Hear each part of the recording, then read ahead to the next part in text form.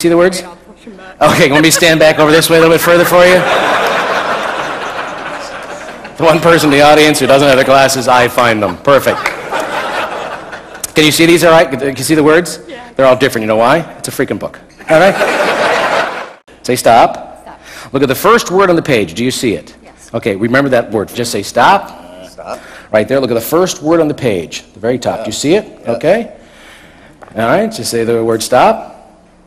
Right there, first word on the page. Do you Okay. see it? Yeah, don't wanna- Okay. Okay. Now do me a favor. Go back and stand by your seats, but don't sit down.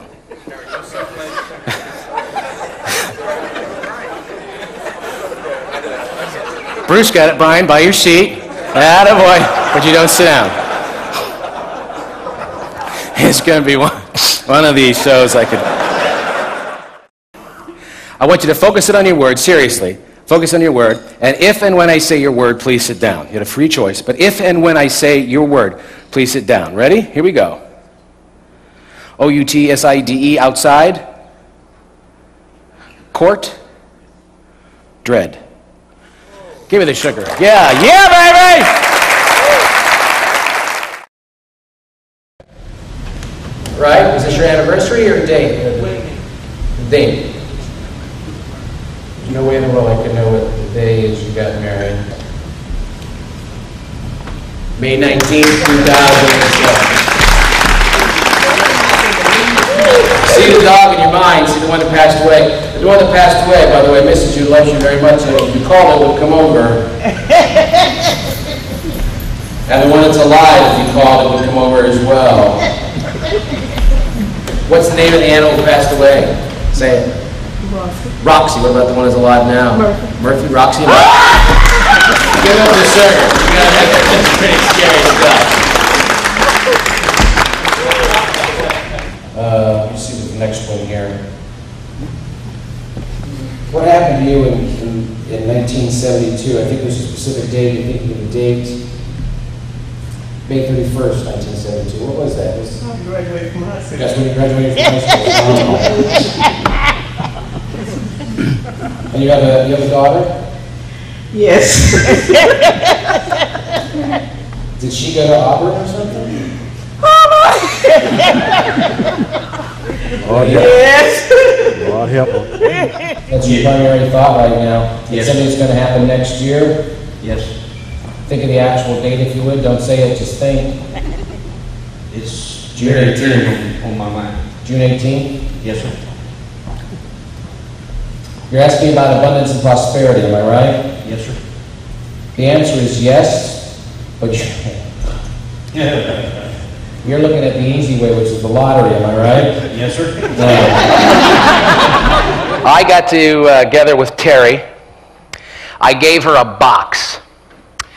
And I told her to take this box, take it back to her room, don't let anybody near it. And she has been with it for the past few days because there's something inside the box. And I've put uh, seals around it, so you are the only person who's been near this, right? This is today's USA Today. Today's USA Today. Kind of zoom in here. I have three predictions on that piece of paper. Would you read prediction number one? Mayors take control of school systems. More mayors are moving to take over school systems. That's number one. you guys are going.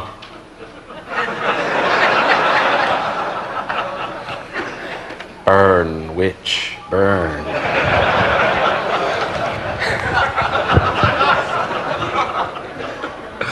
this is the business section. Predicting the business headlines. One of them, the second prediction. CEO of Blockbuster announces retirement. Blockbuster CEO to quit by year's end.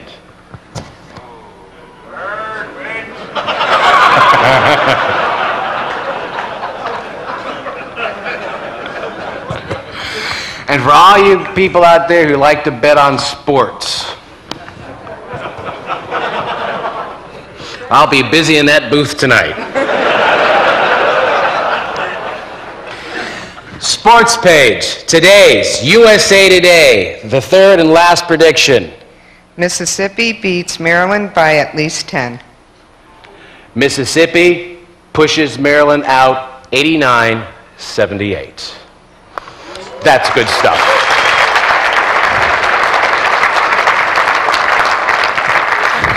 See you guys calling your bookies right now. Hey, I got this guy. As Thomas Edison once said, if we would do all the things that we are capable of doing, we would literally astonish ourselves.